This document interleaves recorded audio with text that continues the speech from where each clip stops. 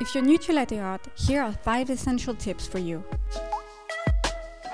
No matter which machine you have, you definitely need a stainless steel milk pitcher. This will allow you to easily control the temperature of your milk. When you are in the process of steaming your milk, try not to reach above 65 degrees. Above this temperature, you'll most likely burn your milk and your foam won't hold. If you hear squeaking noises, it's because you haven't injected enough air into your milk. In this case, place your steam wand deeper into the milk. If on the other hand you hear a sort of buzzing sound, you've probably exceeded the recommended temperature and you are burning your milk.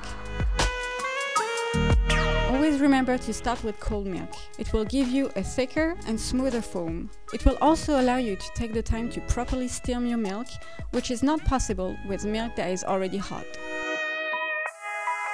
Once you've made your milk foam, it's time to texture it. You can tap your jug against your work surface to break any excess air bubbles. Next, gently swirl the milk and foam together until you obtain a smooth, glossy foam.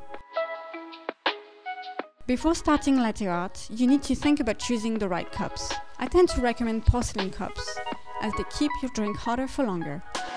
To start your latte art, you need to hold your cup facing you and tilt it at a 45 degree angle.